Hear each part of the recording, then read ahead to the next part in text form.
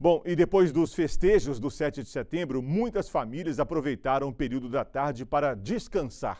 Mas esse descanso foi em meio à natureza, desfrutando da paisagem do Parque Natural de Governador Valadares ou se refrescando com um sorvete no shopping. Muitas pessoas que não viajaram neste feriado da independência do Brasil comemoraram o dia de outra forma.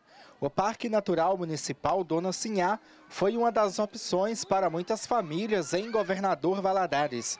Crianças se divertiam nos brinquedos, corriam e até tomavam banho de areia.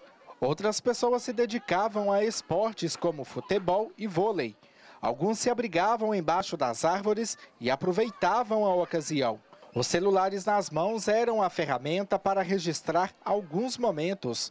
Charles foi ao parque pela primeira vez. O vendedor levou os dois filhos, Pedro e Sofia. Curtir o feriado e fugir da correria da cidade foi a principal programação dele. É a primeira vez né, que a gente vem, vem conhecer aqui, ver como que é. E a gente tem, tem gostado bastante, a gente tem visto bastante gente, muita criança, muita família.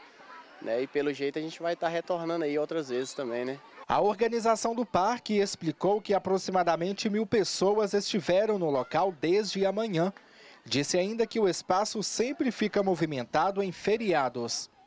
Além deste feriado, o povo brasileiro ainda poderá desfrutar de outros quatro feriados prolongados. O 12 de outubro, que é o Dia das Crianças, 2 de novembro, Dia de Finados, 15 de novembro, dia da proclamação da República, e o Natal, que é celebrado no dia 25 de dezembro. O 20 de novembro é o dia da consciência negra, mas não é feriado. Porém, muitas cidades adotam como ponto facultativo.